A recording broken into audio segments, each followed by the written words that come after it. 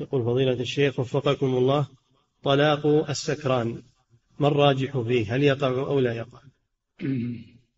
تسألون عن دار الإفتاء. نعم.